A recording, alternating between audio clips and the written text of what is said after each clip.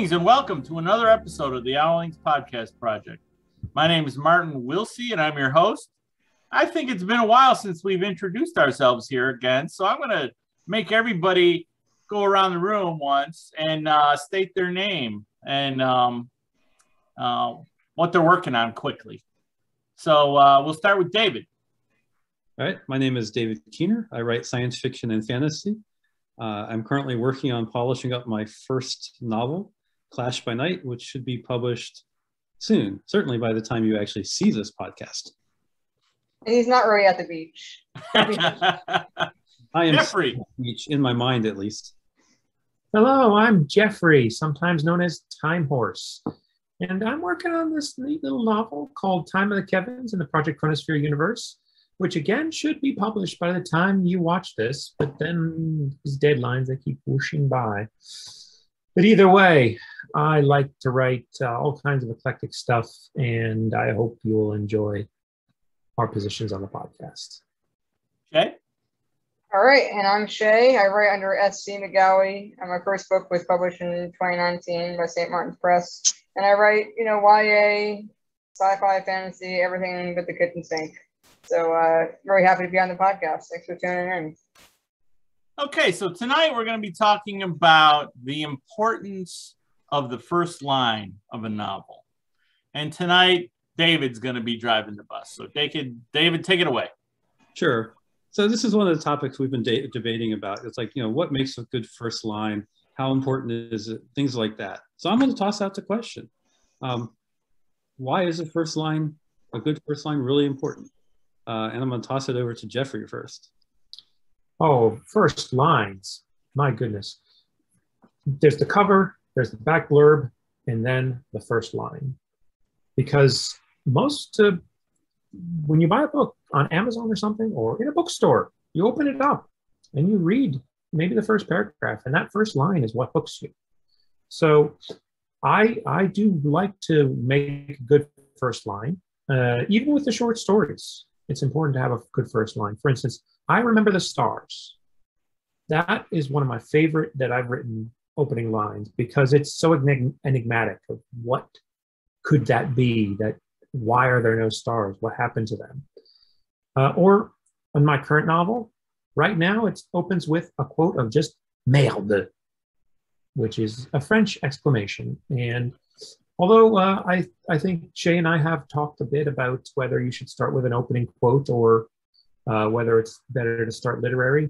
I kind of like that because it's a shocking quote. It's a get you, and, and it just brings you in and makes you want to read more. I'm not sure that's it, me, but that's okay.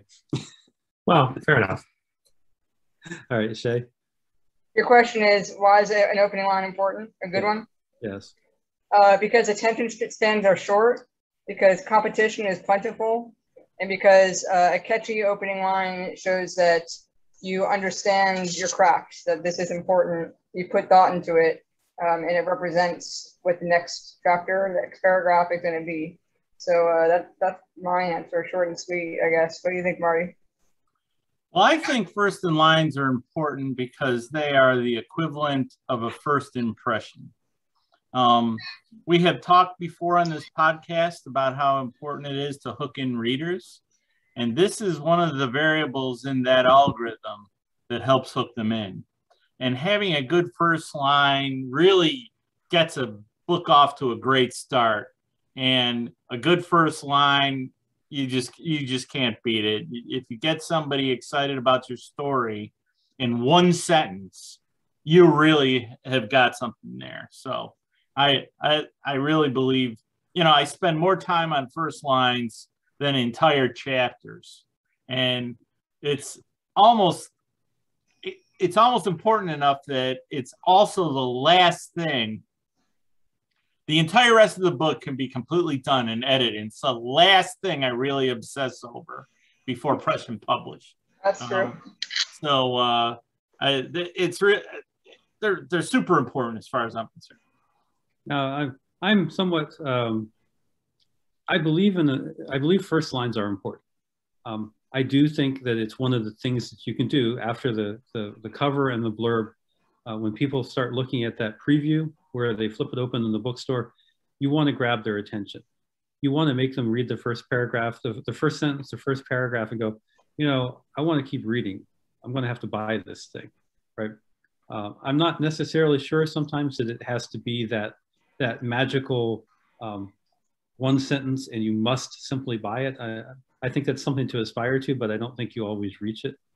But at least, at least give me something to be interested interested in, um, so that I read further and, and then maybe want to actually buy your, your book.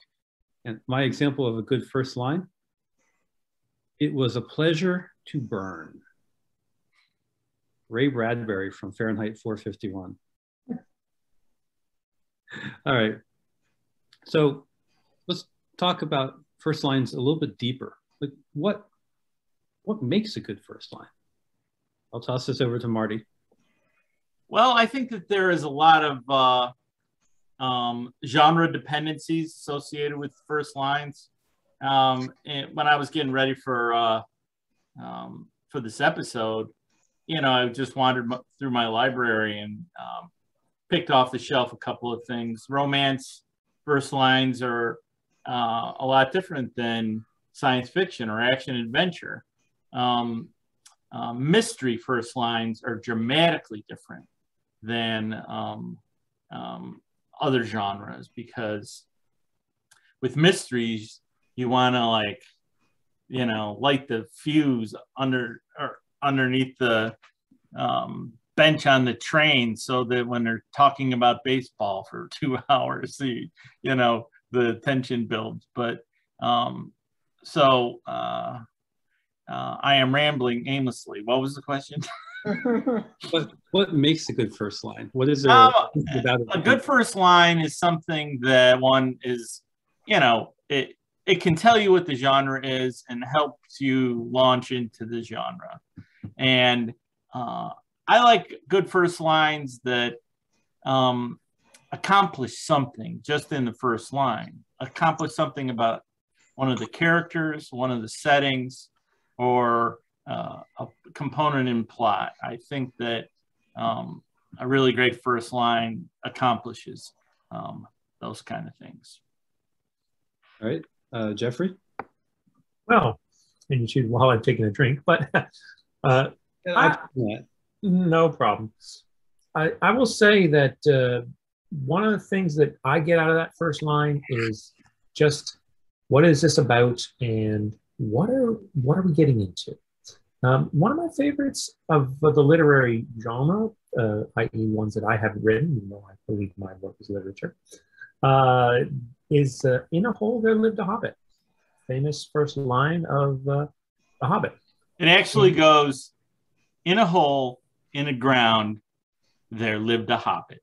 Thank you for the correction, my friend. That's right. It's one of my uh, favorite books, too. It's, it's yes, a good first line. It's on my list, too, actually. Yeah, it's a great line because it sets up that mystery. What is a hobbit? What's it doing in that hole in the ground? And and, and what's going to come of it? Uh, I remember the stars again. What's going to come of it? What does that mean? Where am I going with this? I think that's the great thing that, uh, that that's what makes a first line great is when it sets up a question that you want to have solved. It's just like the ending of your chapters. It is the the hook that brings you in. I want to read more. Okay, so more than the hook, it's a it's a story question that wants you to to read further to find the answer. Right. Okay, fair enough. Uh, Shay. Uh, I think I, I, irony makes a good first line. Um, combining two things that you you wouldn't normally combine, such as in your example, David, it was a pleasure to burn.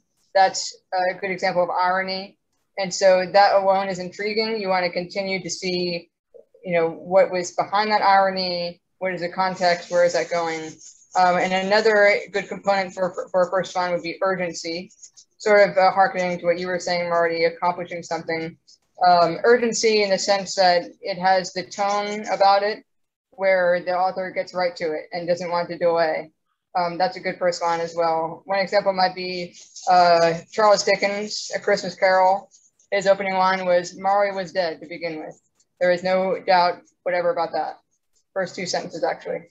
So you know, it, it has a very it has a very chipper, urgent feel to it. So I, I, if I had to boil down my two words, it would be search for irony and urgency when you were crafting your first line. Okay. Uh, and for me, uh, the things that make a good first line, it may vary from genre to genre or from story to story, but it, it's got to be something that grabs my attention. Um, it could be, uh, it could give me a sense of the character, uh, and oh boy, I want to follow this guy. Or it could give me a, a sense of urgency. Or what's really interesting with some of these first lines is they're almost like a master class in writing. It's like, how can you write something really tight that accomplishes a whole bunch of things, but all you have is maybe 20 words at most in order to do it. Um, one of my favorites is from a mystery writer called, um, uh, well, the mystery writer's name is uh, Donald Westlake. He wrote uh, uh an action series uh, uh, called the Parker series under the pseudonym Richard Stark. And I know these guys have heard this quote before, but I love it. When the car stopped rolling, Parker pushed out the window and came out onto the crumpled hood, lock first, right? You are in the middle of the action. You know that Parker is a tough guy. You know he's not phased by anything. And you know that there is people after him. You are in the middle of the action and you got to read, read further to find out what's going to happen. I think you bring a, a great point up there. Uh, to me, that's a great open. Uh, I'm sorry, I didn't mean to interrupt. You froze, and I thought you stopped talking. No, no I was done. uh, you bring up a great point too, because I think it's going to be very hard to craft a great first line if you're not starting your story in the right place. If you're not starting late enough into the scene. Yeah, that was the thing with my uh, uh first novel. Um, I had read in uh, Stephen King's book he he made the recommendation. If you're a beginning author just go right now just go ahead and delete your first three chapters. And boy was that right. Yep. Because i was definitely starting in the wrong spot. No i don't think i was as bad with that because um, i was an outliner from the beginner from the beginning.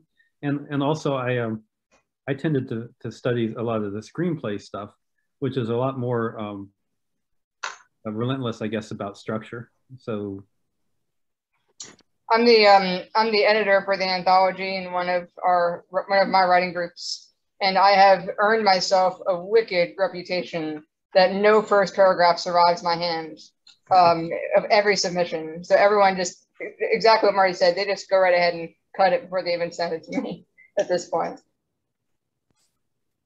Okay. Uh, let's see. I think I've covered everybody there. Okay.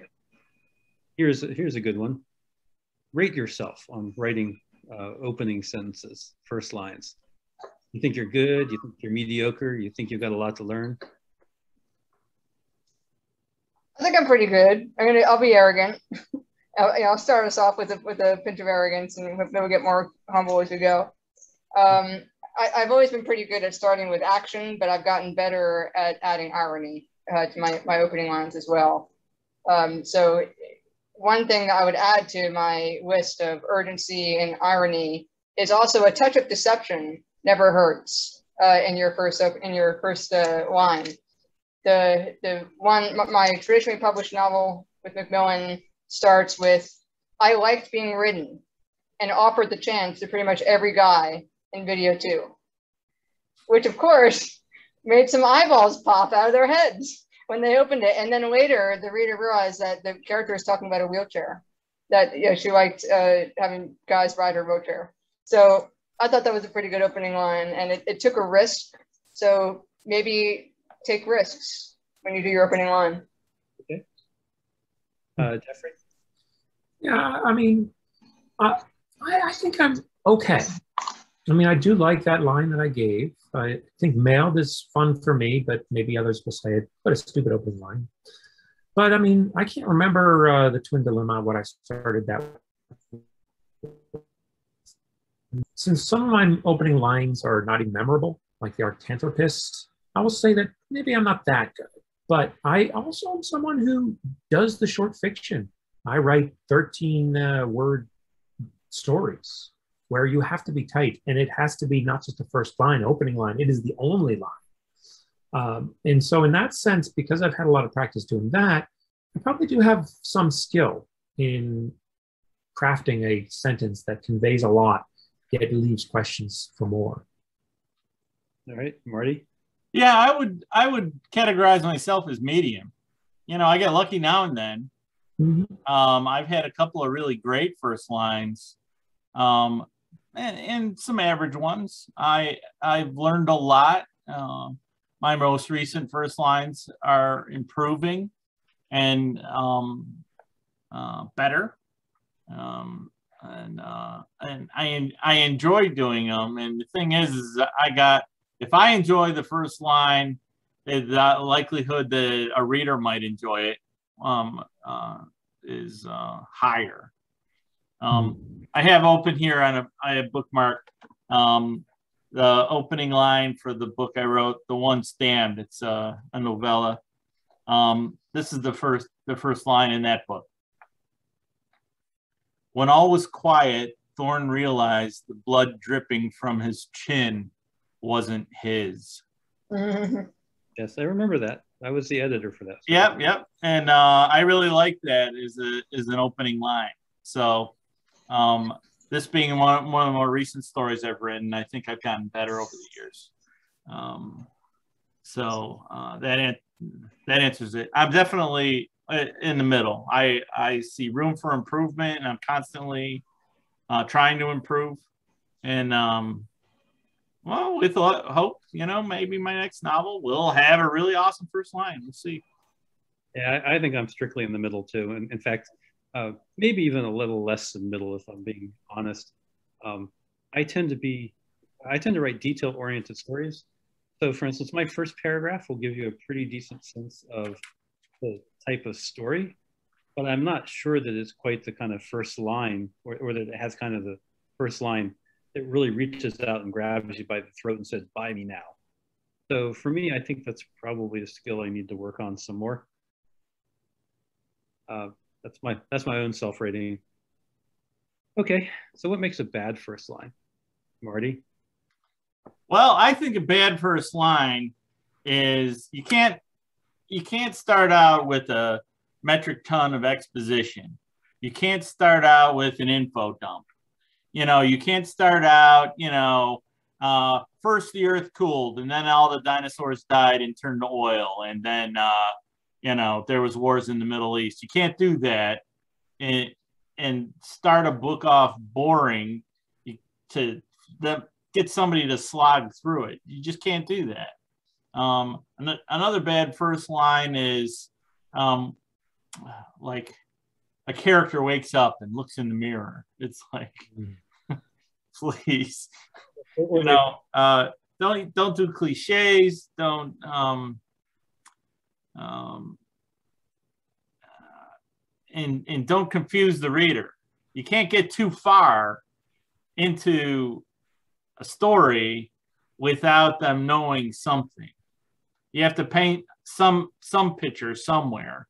Start start giving them fidelity as early as possible. Okay, Jeffrey.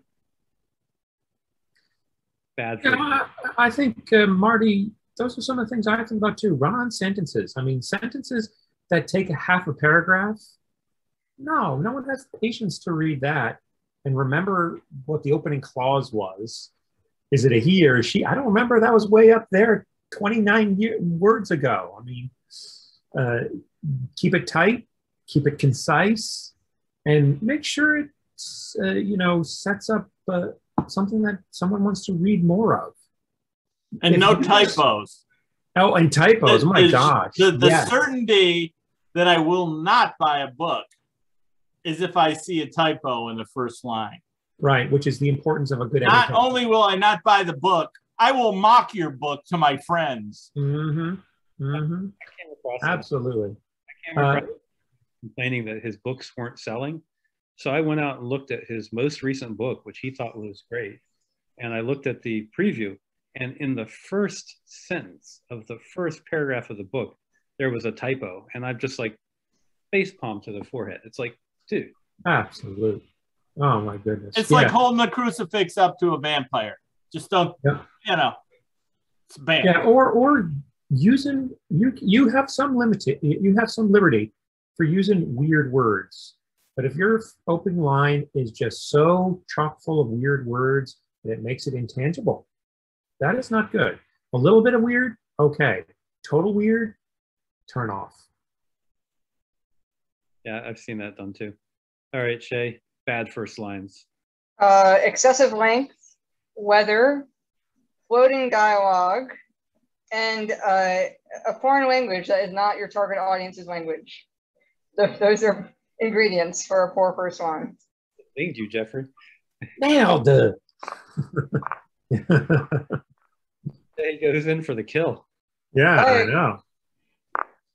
All right, for, for me, um, I, I'm an editor. I've done a, a number of anthologies at this point.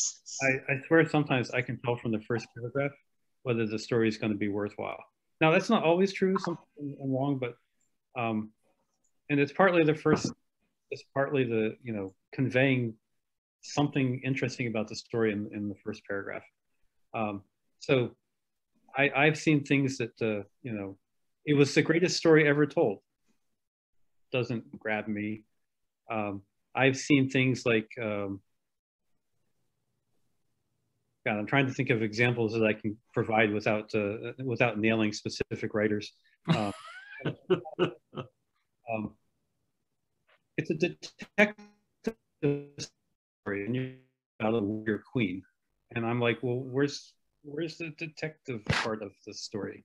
You're not even launching me into the the, the, the proper atmosphere for the story. Um, I think there's lots of ways to go wrong with the, the first sentence. Uh, I've also seen dialogue, and I think Shay, you mentioned this dialogue that you can never figure out who who said it. It's unattributed. Floating dialogue. Who said it? I'm confused. First line. I'm, I'm confused. Uh, something you don't want to do to your. All right. Um, I'm going to go around. Uh, I, I assume everybody else probably has at least one more example of a good first line. So Shay, I'll let you start. No, end with me. want me to end with you. All right, yeah. Jeffrey. Oh, well, I was going to this one, which I think is the right uh, beginning of it. Uh, Tyler gets me a job as a waiter. After that, Tyler's punch, pushing a gun in my mouth and saying the first step to eternal life is you have to die. Fight Club, I mean, that that really grabs you. That really pulls you in. It really makes you say, "What the heck?" And and I think that was a great opening line. Okay. Marty. Well, I'll I pick one of my one of my other favorite lines for books I wrote. I, this is one I'm uh, very lucky to have uh, um, read Stephen King, so that this was actually the beginning of chapter four. it, it- that um, ended up all the rest. The it starts out as the action now, so that it's uh, uh, page one. Uh, it's already happening. So this is uh, um, from my book, Still Falling, my very first novel. And the very first line of my very first novel Barkus crashed back into consciousness when his face smashed into the inside of his helmet. So right now you've already you already know the shit's hit the fan somewhere. And uh, uh, he goes on to say he coughed and he could feel the blood spray into his helmet. Great. He probably broke his nose again. So it was a lot of fun to write. And the thing is, is that um, what made it better was the fact that, you know, I originally had the story start way the hell earlier the day before um, all of the events here. And, you know, he wakes up and he, he checks his calendar and, you know, he gets ready for work. And, you know, it was really boring, you know, and, uh, um, I'm glad I, I did not did not do that. That's writing advice from actually one of my favorite writers. Exactly. Uh, The Kinginator. Nice. El- Elmore Leonard said basically uh, he liked to write uh, stories where he left the boring parts out. Yeah, Yeah, he was tight. exactly, He was exactly. quintessential tight. Um, so for me, uh, let's see, uh, a good first line. Uh, I love this. You can probably uh, you can probably figure out the the book. All children, except one, grow up. Anybody? Peter Pan. Yep. Oh, very very creative. Yep. Mhm. Peter Pan uh, was at uh, J.M. Barrie. If Oh. that doesn't sum up the book, I'm not quite sure what does. Um, and that's an interesting challenge. Solid. for First line to not only set up your story, but also kind of summarize the whole thing as well. Mhm. All right. All right, back to me. So I, I just quickly opened up a few of my manuscripts to see if I could find a trend in my style of opening lines. And as I suspected, they're very short and they're very action oriented. So I'll just read two, um, which are both under 15 words. One is 10 words, one is 12 words. And the first one is from a sci fi, and it says, The vehicle jumps and knocks my hand off the wheel. That's it. And the other one is from a steampunk and says, a camera flashed in my face and I winced, lifting a hand. So I, I like both those. They're very simple, they're very short, but I think they both have a sense of place um, and they both have a lot of action. They, they bring you into the scene. Uh, so I'll just, this is my episode to be arrogant, I guess. Just, I'm just going to top my own books in this one.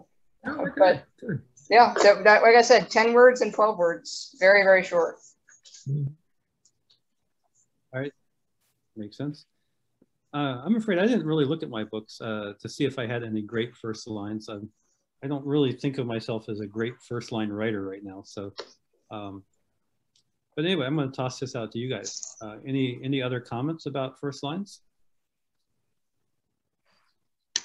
Well, I mean, I'll say this the mystery, the fun of it, the whimsy of it. I mean, here's one that uh, also is pretty fun and common uh, is the uh, far out in the uncharted backwaters of the unfashionable end of the western spiral arm of, of the galaxy lies a small, uh, unregarded yellow sun. Hitchhiker's Guide that sets you exactly sets you on an amazing adventure that makes you not panic. One one last uh, comment that I'd like to make about first lines. I know some authors who are crippled by the first line. Hmm. Don't be crippled. You know, First lines in no going in. You're just gonna first draft everything. But when you're all done and you're polishing your book up as well as you can, revisit your first line last. That's great advice. Because then you'll know what the book's about. I, I will say that was the problem that I had when I was in my 20s. You know, I'd, I'd be writing and I'd be like, well, I can't write the second paragraph until the first one's per- perfect. Right. I was definitely in that. It's got to be perfect before I can move on and stuff. Yeah. And uh, as I got as I got older and I developed writing techniques from other um, venues like work, um, I I got out of that mode. Yeah, Marty's uh, totally correct. That's a that's one way to cripple yourself. And uh, my closing thought uh, is similar. I had a tendency with a couple of my short stories or novels or whatever, where I, I would just repeat the first line over and over in my head again and again because I was trying to get it right. And then once I finally settled on something, it just became a mantra. I could, you know, memorize it. And I got so attached to that, to the way I wrote it, that uh, I was very unreceptive to any comments from editors that said, well, this, this needs to be a little clearer or this word maybe needs to be changed or whatever. And so I, I dug myself into a hole that way. So we can get to a point where we're working so hard on our first line that when we finally think we got it right, we're very stubborn about it. Uh, so just be a little flexible about it. And if it's, I mean, I, I still remember one first line from a novel that got changed, and I can't remember the way it was changed. I remember the original way I had it. so it's it's possible, but just be a little flexible on it because you will get feedback. You'll get plenty of feedback on your first line. Be flexible. Great advice. And remember, you can always come back and, and edit the first line. Yep. Mhm. It's easier to do that once the book is written than it is trying to. Absolutely. Yeah, it's true. All right, I think that's just about it, Marty. If you want to. Okay. Thanks. Another good episode. Another And, finely um, structured one. We will uh, see you all next week. Thanks for stopping in.